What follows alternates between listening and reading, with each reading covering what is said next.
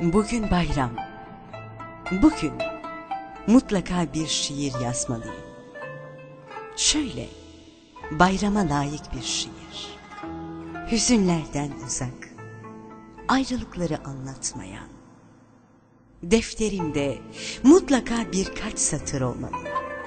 Bayram sevincini onlara yaşatmalıyım. Kelimeler ellerimden öpmeli. Ben onların gözlerinden öpmeliyim. Mutlaka ama mutlaka bir şiir içinde buram buram sevgi tütmeli. Hasret kokmalı. Yaremin saçları kadar hoyrat, bayram şekeri gibi tatlı.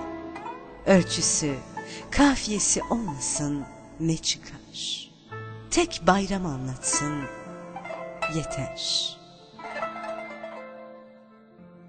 Eser Yılmaz İmanlık. Bayrama dair